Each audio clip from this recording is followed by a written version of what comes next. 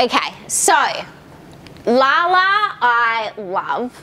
I love everyone. I love all of my clients, but when so did you come to a Get Social Breakfast Club? Is that the first?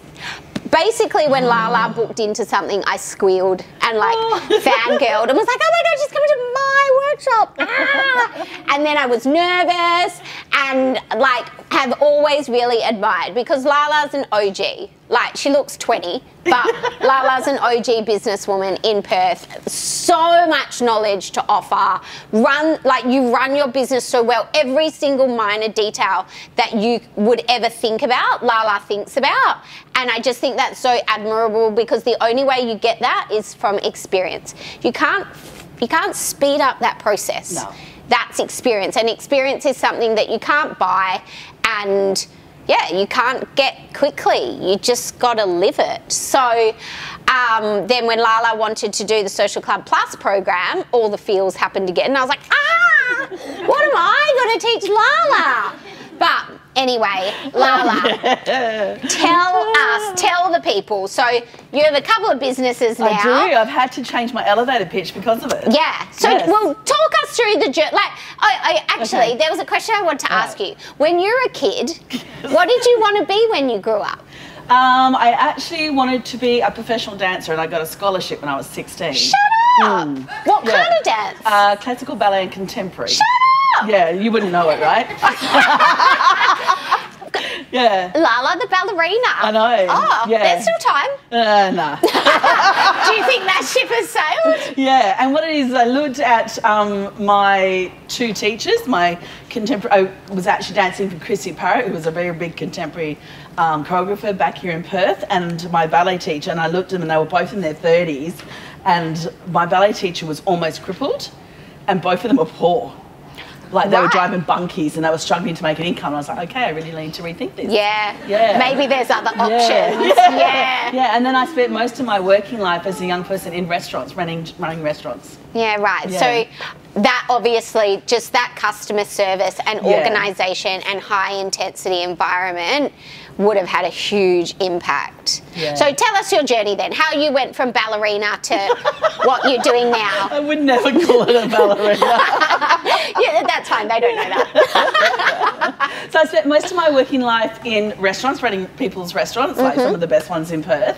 So I did that up until I was probably 30. Mm-hmm. So I'm 50 this year. So it's been a bit of a journey. But what did I say? I was like, she looks 20, right? Good Um, genes. So yeah, when I hit 30, I hit a brick wall. Really? I'd been running people's restaurants 90, 100 hours a week, and I just went like that and Mm. just died. I spent two years locked in my house with extreme agoraphobia and chronic depression. No Suffered way. thyroid problems, which I still live with on a daily basis. I don't smoke, I don't drink, I don't do drugs. I was healthy. I had just burnt through my body. I burnt through my adrenal glands Mm. and just trashed myself. And then I came out of it. And part of the therapy of getting better was making things. So I was making little bits of jewelry and bits and pieces. How did you d- decide to do that? Was Um, it was just someone because I I told you to do no, that? I just knew I needed to do something creative. Okay. You, just, you know, you can't sit between your house in your four like walls and Yeah. you know what am I going to do? So yeah, I just started to do something. Were you married then? Your Um, last partner? Was that then? I've had a few husbands. Oh, okay. I'm currently on my first. Yeah. and I like to say that the current Mr. Lala is my favourite. Okay, that's good. That's a plus. While to get there. So yeah, I was married at that time. There's one of my secrets Welcome out. to relationships at the social club. I love it. I love it. Okay. Um, and yeah, um, what happened when I finally started to lift my head up is um, a friend was getting married and said, I need some help with my wedding, and part of that was actually stationery. Back then, when you made wedding station, you would go into a paper shop and there would be lines of paper on the on the shelf. Just kind of nods, and you would pick out papers and glue them together and do all this kind of thing. So we were doing this journey, and I remember sort of just sitting back, going, "Oh, there's no service." There was no mm. like no one was helpful. The stuff was really naff, mm. like and nothing matched. I'm like, why do you have to go to 500 different shops to get something to work? Mm. And then I just went, I reckon this has got like this is what I think I'd like to do as a small business. So I actually started in the Subiaco markets, which Did has only just been the one on not Station Street, the one on this side on Rokeby, Rokeby? Roadside. Yeah, Mhm, yeah. So I started there with like a little shop that you could put your hands on, Mm-hmm. and I was there for six months. So I worked the weekend and then worked full time in my that current husband's business. Right. And then um, yeah, decided to go into it full time. Just jumped in, maxed all my credit cards out, but no business plan together. Had no idea about marketing. Just went, yeah, fuck it, I'm doing it. And when was this? That was 2003. Yeah, wow. Yeah. So no, once again, no social media. No, No yellow in- pages, no- community newspaper, and a retail store. Yeah, there Not was internet in 2003, but not really websites. No, People didn't have think websites. website kicked into like a year later. Yeah. yeah, and I had some like you know one of my staff members, her husband was Yeah, a real techie like, dude, uh, so he just whatever. kind of made me something. Yeah. Wow. Yeah. And our mailing list was the snail mail. We would lick and stick a thousand envelopes and post them out every three months. And you would cut out your little coupon and come on in and claim your Yeah, little what freebie. was it? What, what get did like you send? craft part. We would send you a newsletter, and at the bottom it said, "Cut this off and come in, and we'll give you a little freebie pack." And we would make up little craft packs and stuff because they would come into the shop and then they'd spend their money. Yeah, right. Yeah, so we used to do that every three months. Wow. Yeah, you'd get a pink envelope in your letterbox. And I'm teaching you guys about email newsletters, and you're like, oh, do I have to? You want to do that instead? Like, come on. Yeah. Wow. Yeah. Um, all right. So then we had the last La um, design store. So I had a retail storefront up until three years ago. yeah, talk to us about the decision of. Yeah, probably that. one of the hardest decisions I've Yeah. had to make, and I had a huge emotional ride through it. So at that point, it was about a 280 square meter shop, probably close to 300 grand's worth of stock, Mm. and 10 full time staff members. So it was a big kind of business. It was, It was a really- serious Yeah, business. it was a serious business. A couple of things happened. Um, rent was going up like at 5% per annum. So by the time I was finishing my lease, it was almost at like 30%. I saw retail sales declined. I also was not loving it. I wasn't Mm. loving having to stand in front, like in the middle of a really busy shop and try and work with a bride through wedding stationery and things like that. And I also saw that my current branding was actually damaging my business. So we were this bright hot pink shop, and I always picked the hot pink because I figured most of my clients were females. They'd be driving down Oxford Street and they'll be freaking out because it's busy and like, how do I find this place? Oh, it's just a pink shop. It's just a pink shop. And you see the colour, and you knew instantly you're in the right Mm-hmm. and place. it was pink. It was, pink. pink. Yeah. it was like that yeah, hot pink. Yeah. Yeah, You couldn't miss it. What happened is that people then. It became the cheap, cheerful brand. Yes, we were cheerful and we were very helpful and approachable, but we were not cheap. So there was Mm. this disconnect happening. So I was either going to have to, I had negotiated with my landlord and said, you know, and this is a landlord I'd been paying for 15 plus years and I had three premises off him as well. So I had Mm. the big shop, but I had behind workshop as well. Mm-hmm. And I said, if you could drop my rent by a certain amount of money for the next like eight, nine months, I can survive it and then we can reassess it. And he was like, nah. And I was like, okay. Was that you." like taking like a bullet? Um, not so much a bullet. It was like, okay, you're showing me who you are, and I need to accept it. So I need to do something about it. So I did something that was very against my character. I stopped paying my rent. Oh. Yeah.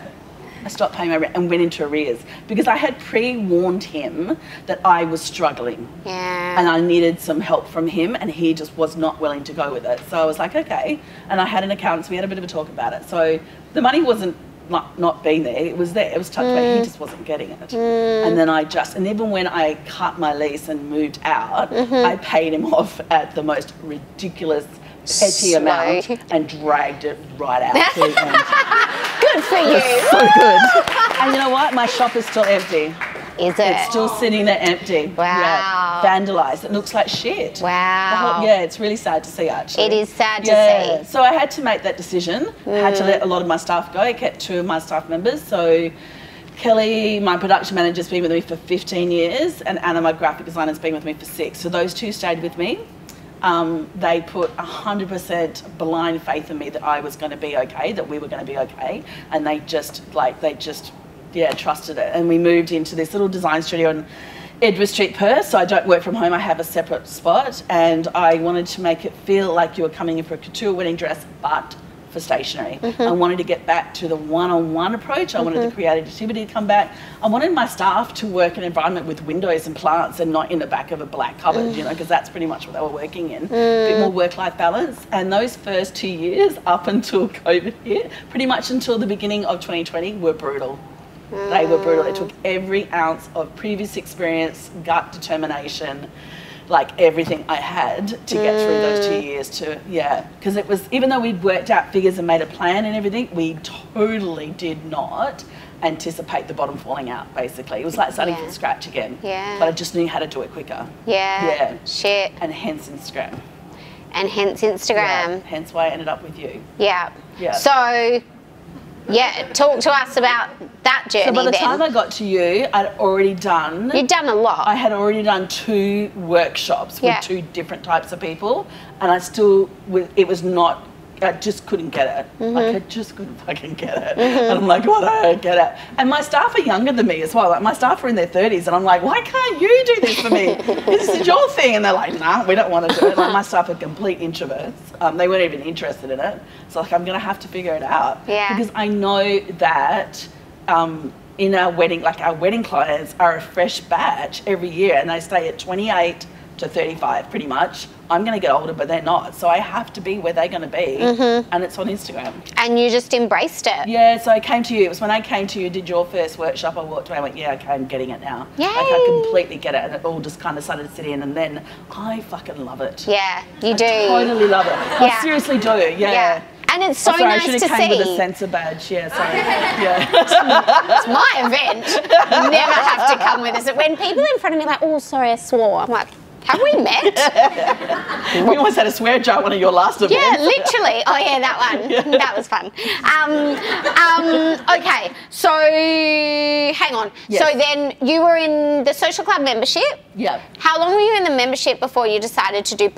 And what made you decide to do plus? Why did you feel like you, if you were loving it and enjoying it, getting customers, getting results, why did you feel like you had to do the deeper Because I always feel like there's another level. Yeah. I always feel that you have to keep evolving. There's always a better way to do something, and you just need to be open to it. You need to try it. There's a very much a whole, my philosophy is very much a kind of, you've got to try it and see if it works. Like test and measure, test and measure. People often are too afraid to do something because they've already seen it failing before they do it, mm. and they make up their mind without the real facts or the real answers. So for me, I was part of the social club membership. Literally, I think the minute you started it, after I'd done the two courses with you, mm-hmm. because we all know we get busy working our businesses, we forget what we have to do. So they're really great memory joggers. Mm. And I like being kept up to date with things Yeah. as well. Like you're instantly telling us what's going on, and how to do it. And sometimes I'm like, how do I do that? And then I go, oh yeah, it's in that email. And then off I go. I don't watch your webinars, but I generally read your emails.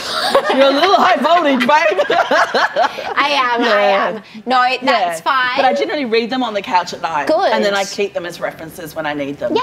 When I need to go back to something. I swear And- the emails yeah. make more sense than when I'm blabbering on the screen, so I that's think fine. People absorb information in different Yeah. ways, don't they? Totes. And then when the Social Club Plus came up, um, because it was during COVID as well, Mm. so most of our business pretty much on that Friday when the government decided to stop weddings hard. and events, it's just bombed out. Yeah. Um, but I'm- what I liked yeah. about Lala during COVID, like, you did not stop. You showed up. You showed up on stage. You sh- like the day you had to. I feel emotional saying this. You had to get rid of your staff. Oh, it still makes me cry. I know, and you shared it, and it was like fucking brutal watching this, but it was honest, Yeah. and it brought so many. I think it brought so many people comfort because obviously I know what I was going through at the time. Just to be like, okay, someone I admire's fucking world is falling apart, but Yeah. all right, she's still going. So I'll have to keep going. Yeah. yeah, Yeah. It was it was brutal. Yeah, and like you said, it's not always about the highlight reel. No, It's really important to show the other side of it, you know? Do you think in your entire experience in business that's been the hardest thing? Do you think COVID was the hardest? just that for us it was almost like a three four week window that was really difficult mm. until i did a pivot that just flipped it all on its mm. head and then that was you know no looking back now. Mm. So yeah but that particular day i had been pre-warning my staff. So i went to new york in 2000 and 19 and um, sat with a bigger group of worldwide stationers, and I was the only Australian person that went there. So I had been talking to everyone in New York and um, in the UK, and they were telling me what was going on. Hmm. So I kind of saw it coming and been briefing my staff, but they kind of just rolled their eyes at me and was like, "You're being a bit melodramatic, babe." But we all Yeah. kind of did. Yeah, it was like surreal, wasn't it It was sort of like, oh, do you get caught up in hype or, Yeah. or not or what? And yeah, well, they were right. Yeah, and then when they started seeing all the cancellations and the phone calls coming through, and then a whole bunch of print work just sitting there with no payment and everything, and then me saying to them, "I'm sorry, that's it. I don't know if I'm going to be able to bring you back into work." And they were like, "And Kelly, who's been with me for 15 years, doesn't know how to do any other job. She only knows what she does for me. She hasn't had to go and work for anyone else or anything mm. like that. So to say, look, I'm sorry, and I can't promise you." Yeah, know, work again. Yeah, or Yeah, what, it's if there's going to be anything left at the end of it. There's Yeah. one thing when you're responsible for yourself, but when you're It's responsible for other people, it's a different kind of pressure. Yeah. And you know, you see success and growth in businesses, hiring staff and expanding, but then you got somebody else to think about, and it, it does change your mentality. I was there when she got married. I was there when Jackson was born. Mm. You know, I helped Anna buy her house. Mm. Yeah, all of those sort of things. It's crazy. Yeah, So, yeah. Lala had Lala Design when she applied to do the Social Club Plus program. And when you apply to do the program, you have to fill out a brief because I have to know that really you're ready for the program. And in the brief, it says like, what are your goals and what are you hoping to achieve and blah blah blah. And nothing, nothing in the brief matched Lala's business. And I was like, okay, this is not about brides anymore. So Lala said, so throughout COVID, when she said that she'd pivoted, started coaching. And obviously, like you should have done it a thousand years ago. But when we started the program in our first session, what did I say to you? Yeah, I had filled out and did all my homework ready for our little meeting, all for Lala Design. She's like, right, that five year goal of yours of doing business mentoring coaching, we're going to do it now. And she literally just went, shut up. and that was it. And I, it was like I was sitting in my chair and went, fuck, okay, we're doing it. I was like, Yeah. this, we're actually not going to Yeah, do this yeah. program about Lala Design. That's Yeah. not what we're going to do. We're going to do Lala for business. Yeah, And, we that's did where it. came up. Yeah. Yeah. I already had the name pegged and put away, ready to go. It just got expedited. Mm. Yeah. Yeah. And it's so cool. Oh yeah, it's awesome. Because Yeah. it's like when you hit that right thing that people want from you that you are delivering and you just explode. And that's what's happened. You've just exploded. on both pages as well because Yeah. it means that I'm not everything that I'm posting on Lala for design is about weddings and brides and it's very much for them and that's what I talk about and then everything that everything else I talk about on Lala for business which is about business and my personal things or you know that sort of thing yeah so it's and business good- branding yeah, too. absolutely Yeah. So I Yeah. think this is something that a lot of business owners struggle. You start an Instagram account, um, you gather an audience, you have an offering, and then you start another business or you have another direction, and you're t- trying to do both on the same account. Guys, it does not work. You're going to struggle to grow. You're going to struggle to think of what to post because you're trying to speak to two people. So, if anyone else is in that same position right now and you're trying to make the decision whether to start a new account, if your audience is different, your offering is different, then yeah, as soon as you start that new account, everything will become easier on both accounts. And I know it can be a bit, a bit overwhelming to go like, shit, I'm trying to manage one account. I can't even imagine having two. But if you have a clear strategy for two accounts, it's actually easier than trying to work out how to serve two people with two different uh, pain points and two different prob- problems on one account. Yeah. Yeah. It's huge. Um, so, why did you pick this program over other programs? There wasn't any other programs Brooke Yeah, there wasn't. I know there wasn't because this is, I created the program for Plus based on where I was.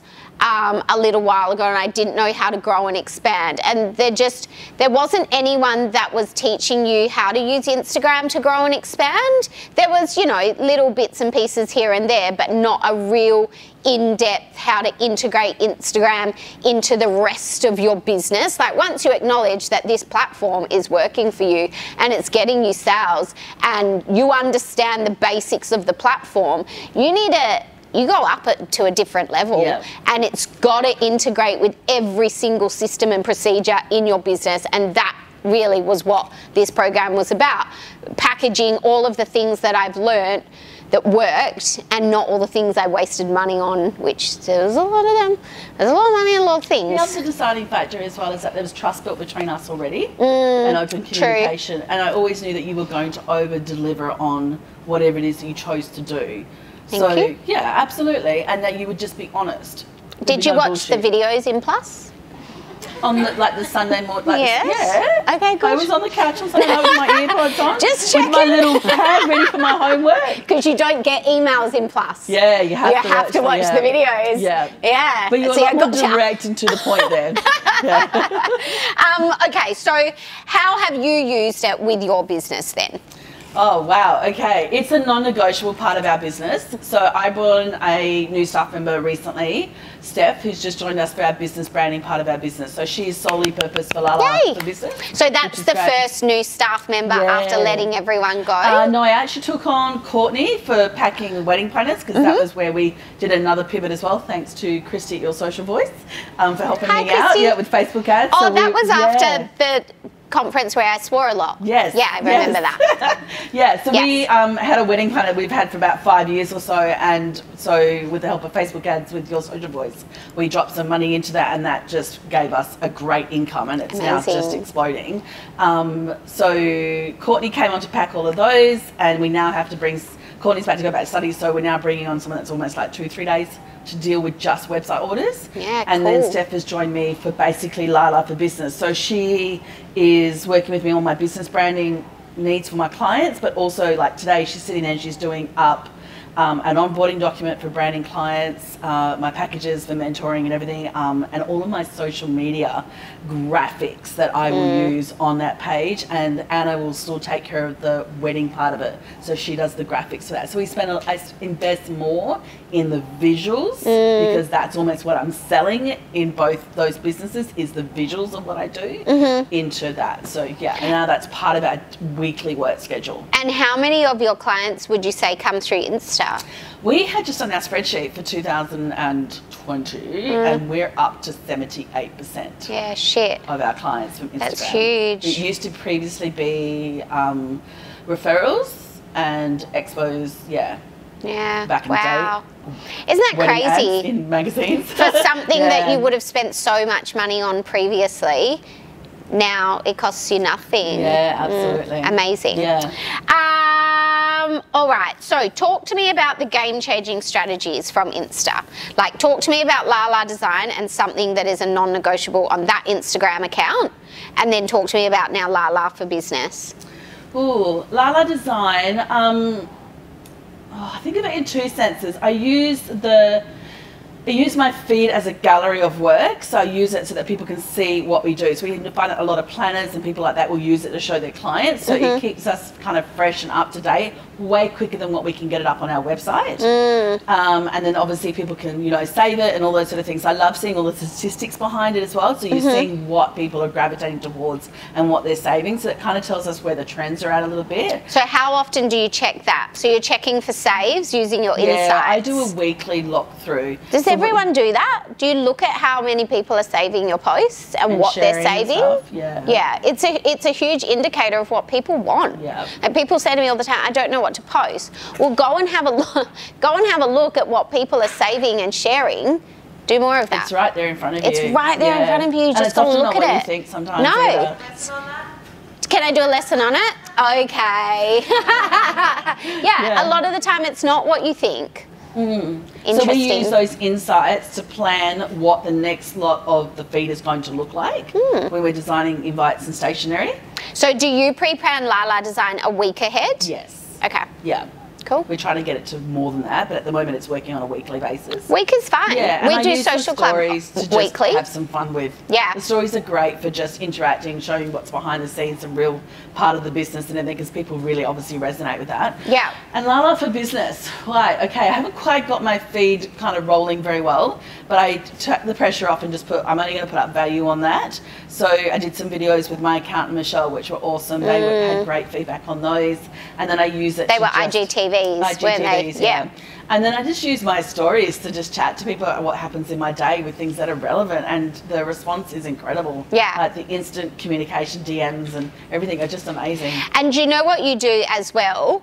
Um, you show up at the same time every day. Yeah, So much, yeah. Lala makes her coffee in the morning in her kitchen and chats. And it's like nice, like when I want to open my Instagram account, I'm like, oh, what's Lala got to say to start the day?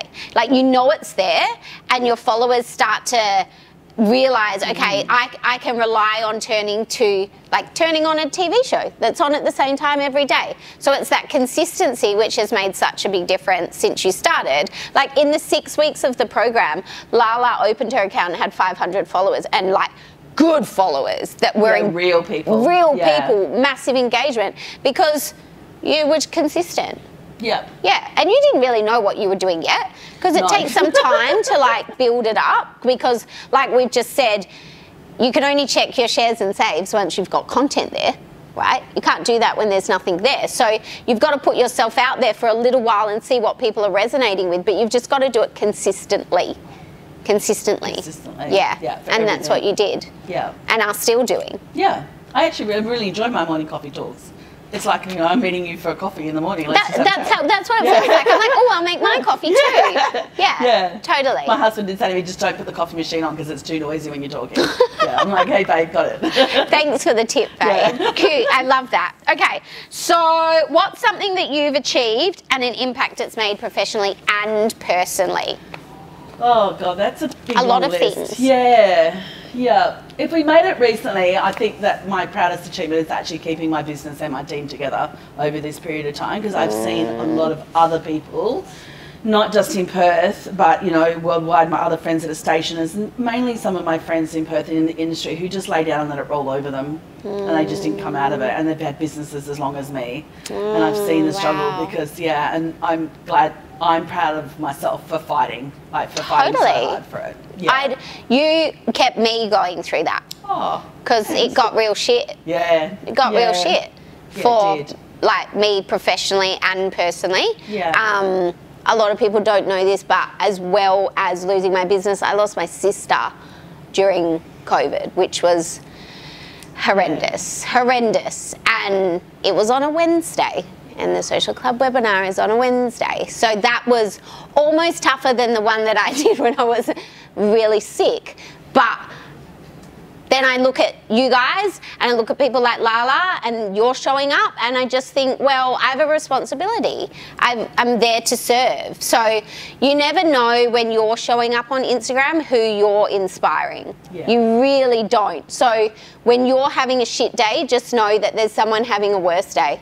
Always. Always someone having a worse day. Cool. Yeah. All right. So Yes.